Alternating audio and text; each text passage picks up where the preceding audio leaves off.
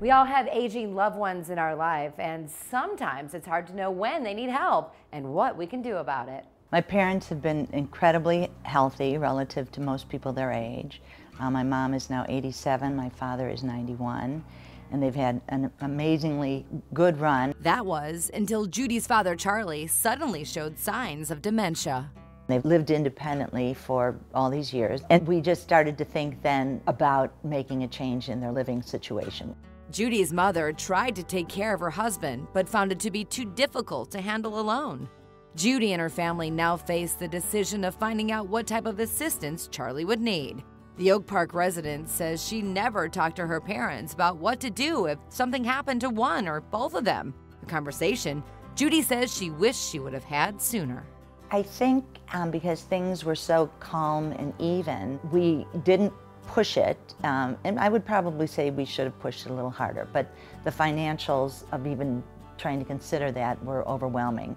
Melissa Marchwich is the general manager of Years Ahead, an online resource for people to connect to the right levels of care for their aging loved ones. She says it's all too common for people just like Judy to not be fully prepared for a living transition.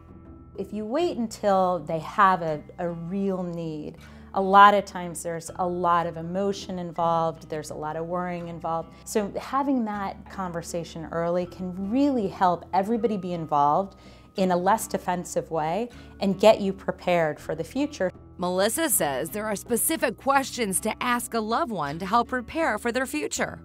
Do they want to stay in their home, you know, for as long as they can? Would they want to look at different senior communities from independent living, which is basically just a, a retirement community, to assisted living? What is their wish?